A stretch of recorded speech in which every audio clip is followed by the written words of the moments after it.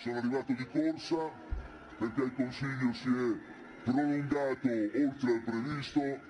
Abbiamo anche la contestazione, evviva!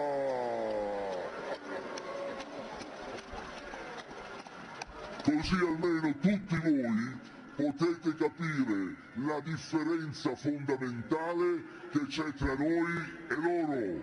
Si sono messi a strumentalizzare la paura, la speranza, il dolore, i morti. Vergogna!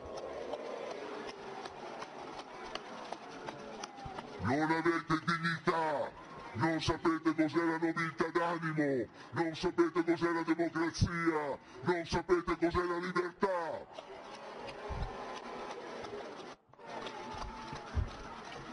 Siete ancora ed oggi come sempre dei poveri comunisti!